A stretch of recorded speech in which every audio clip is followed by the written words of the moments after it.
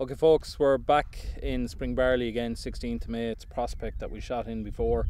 The field has got its weed spray, its cameo and Kinvara, uh, which we used Kinvara to try and twist down the big volunteer catch crop plants that were there, or forage rape in this case.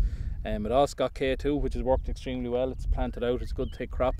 Um, it got an aphicide. Um, it got half rate manganese, being an extremely manganese deficiency prone field. Um, the Kinvara has worked well, as we can see with, with the cameo. The crop is at, look, it's not at growth stage 30, but it's towards the latter end of tillering. It's absolutely fit for a fungicide there today.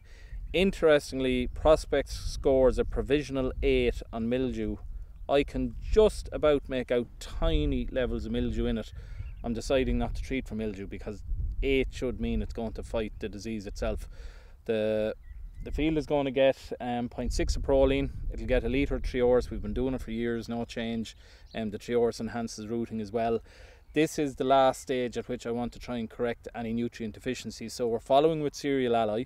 The high pH dictates that there'll be a restriction in the uptake of manganese, copper and zinc. So I put on half rate manganese. I'm now coming back with cereal alloy so we have the rest of our manganese, copper, zinc taken care of. But it, this land is particularly prone to magnesium deficiency as well. And I have three leaves here on my hand that, that show classic magnesium deficiency symptoms. So we'll also put in probably two litres of sulfamag on this field. Other fields might only need one and a half, but it'll get its fungicide, the last of its nutrition, to me, there's no need for any follow-on Moddus or any other regulator here. It'll go on it in the next few days, and I can predict already at this stage that bar something particular goes wrong, we'll be finished with proline and Amistar Opti. It's that straightforward. Again, it's all about front loading with barley, spring the same as it is in winter. That's it.